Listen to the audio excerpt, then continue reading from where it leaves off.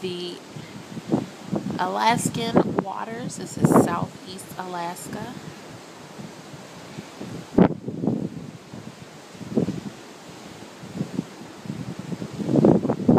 The weather is about mid 50s, upper 50s.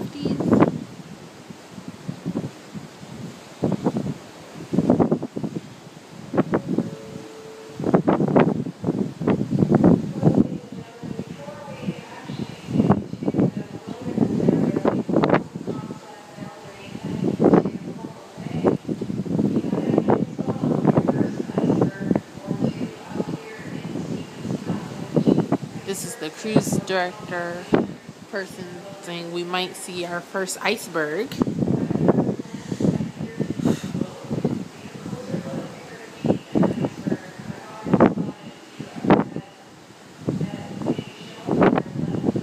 Okay, it's cold. I gotta get some more clothes on. Whew, just a moment. This is from my cabin. So, be right back.